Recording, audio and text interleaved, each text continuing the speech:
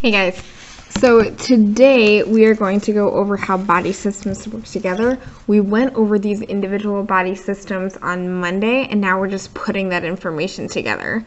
Before we get into that, we're going to do our little review question. So what I want you to do is pause the video and try to answer this question on your own. So pause it now. Alright, welcome back. So, the first thing we always do is bracket the question is asking which of these is a likely outcome of a movement by young males. So the young males we're talking about are baboons and they're taking a little trip into the neighboring troop. So if I imagine I have a group of baboons and they travel to a nearby troop, that might be a little bit different. All right, every population or group has a gene pool or all of the genes that all of the organisms have combined if this one baboon decides to travel or move over to another one, then this gene pool is now going to change because you're transferring some of the gene pool.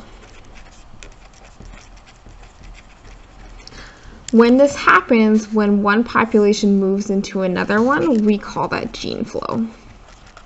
That gene flow then results in the transferring of the gene pool. Therefore, my answer is F. All right, so below, now we're really going to get into how body systems interact. So remember that there are 11 body systems that are right here. This one is pronounced integumentary, if you were wondering. That just involves the skin and forms a barrier. I'm going to show you how I want you to annotate these types of questions, and then you're going to get a lot of time to try them on your own. So let's get started. A signal that the urinary bladder is full is sent to the brain. So what I want you to look for are keywords that are giving away what the systems are. So the fact that I see urinary bladder, well, I know that urine comes out of the bladder, which is waste. I know the system that gets rid of waste is the excretory system. This also mentions the brain. I know that the nervous system encompasses the brain and spinal cord, or therefore I see brain, I think nervous my two systems, according to my annotations, are excretory and nervous. Second, your body must have oxygen. Oxygen is part of the respiratory system.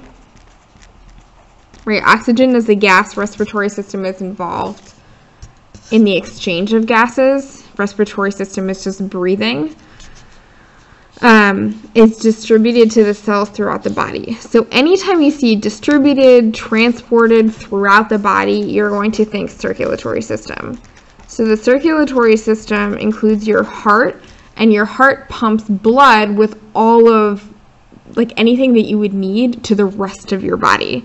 So blood contains oxygen, immune cells, nutrients, whatever you need Anytime you see distributed throughout the body, think circulatory. My two systems are respiratory and circulatory. I'm just going to show you how I want you to annotate these multiple choice questions. All right, says the blood in your body carries oxygen, which two systems are primarily involved in this. So oxygen, remember, is a gas, and respiratory system is involved in the exchange of gases. Blood in your body well, blood I always associate with the circulatory system. Therefore, respiratory, circulatory, my answer is B. This matches. Check. All right. Number two, your body is able to stand upright because of two systems. Which ones are they? Well, in order to stand up straight, right, I need some type of support.